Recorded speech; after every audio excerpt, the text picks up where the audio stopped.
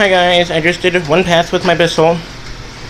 My Bissell Pro Heat 2X Tough Stain Pet, and I'm gonna back over it with my, over the other side with my Bissell Liftoff Pet. So here we go.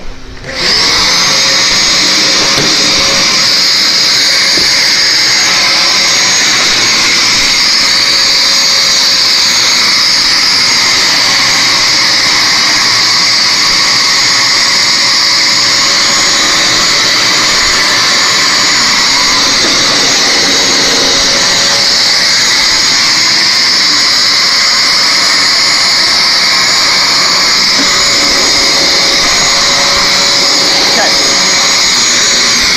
Nope. And I forgot my dry password. Sorry.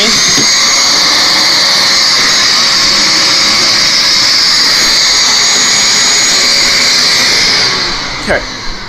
And these carpets have been used. Oh, there's my puppy dog.